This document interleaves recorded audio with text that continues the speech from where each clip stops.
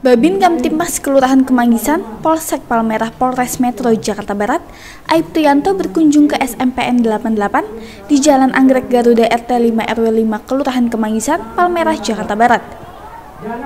Kunjungan tersebut dalam rangka mendampingi unit narkoba Polsek Palmerah dalam penyuluhan bahaya narkoba. Sebelumnya, Babin Kamtipmas koordinasi dengan Wakil Kepala Sekolah Bapak Panca bagian kurikulum dan Ibu Hajriah bagian kesiswaan. Beberapa narasumber merupakan Kanit Binmas, panit narkoba, serta penyidik narkoba. Penyuluhan narkoba dihadiri oleh kurang lebih sebanyak 150 siswa-siswi SMPN 88 kelas 9 dengan penanggung jawab Kepala Sekolah Bapak Yusron. Kegiatan tersebut mendapat antusias yang luar biasa dari siswa-siswi. Atas terselenggaranya penyuluhan narkoba dari unit narkoba dan unit Binmas Polsek Palmerah, Kepala Sekolah dan guru-guru SMPN 88 tak lupa untuk mengucapkan terima kasih. Dari Jakarta, Tim Liputan Tribrata TV, salam Tribrata.